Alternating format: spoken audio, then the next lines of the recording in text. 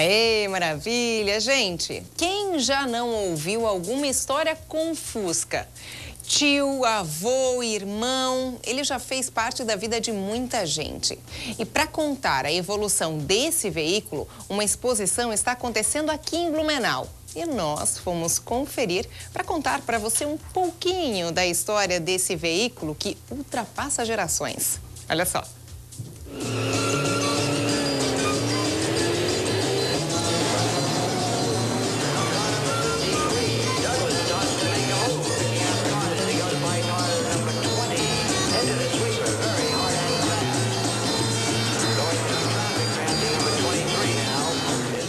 A história dele é uma das mais antigas quando se fala em automóvel.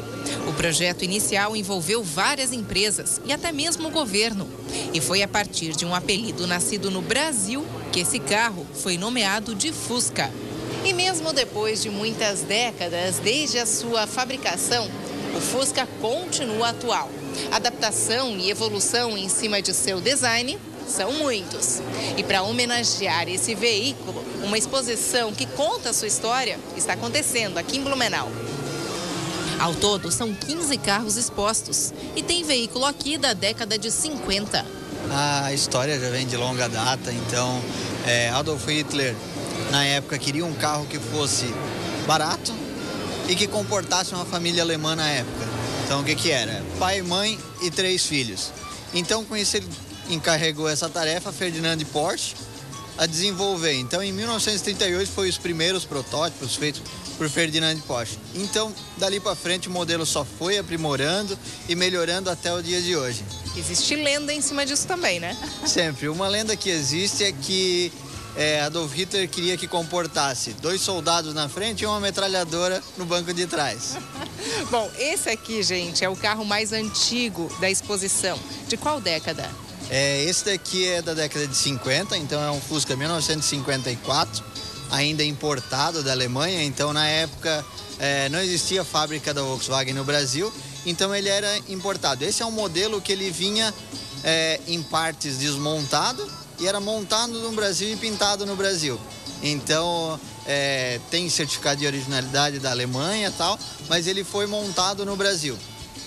É seu carro, né? Como é que você conseguiu conservar por tanto tempo? É, na verdade, outros proprietários foram conservando e consegui adquirir há poucos anos atrás, então só estou mantendo um pouco da originalidade e um pouco do, do estilo que o grupo que eu participo gosta, que é carros um pouquinho trabalhado para a gente andar na estrada. E dá só uma olhada no pisca desse Fusca. Chama-se Bananinha. É a chave de seta do carro. Nesse modelo, o vidro traseiro ainda era oval. Nos mais novos, esse vidro é maior. O tecido dos bancos foi importado da Alemanha, da mesma fábrica que produzia os tecidos originais.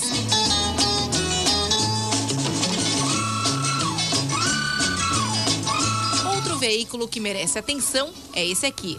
É um modelo raro. Só foram feitos 850 carros dessa série. Esse é o exemplar número 647. Era o top de linha da época, com todos os acessórios possíveis. E detalhe, só tem 90 quilômetros. É um carro que só foi para exposições. Outro Fusca que também carrega algumas curiosidades é esse modelo aqui. Jean, por quê? Esse Fusca é um modelo 1971 e no ano desse carro teve um incêndio na fábrica da Volkswagen no Brasil. Então, esse carro é um dos sobreviventes do incêndio. Então, naquele ano a produção foi um pouco reduzida.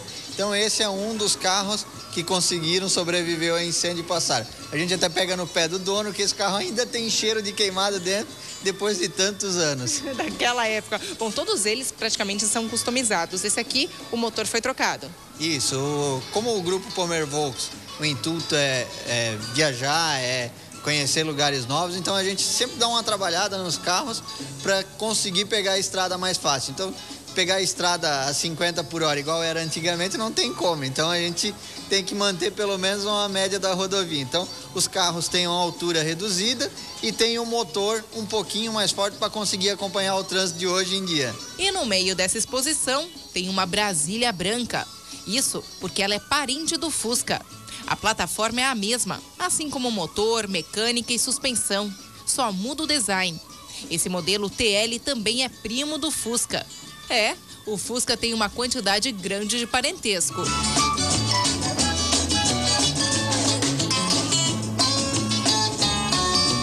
E depois da evolução do New Beetle, a nomenclatura Fusca voltou à cena. Esse é o modelo 2013. O formato arredondado continua, mas claro, o motor aqui é um pouco mais potente que o original. 2.0 turbo.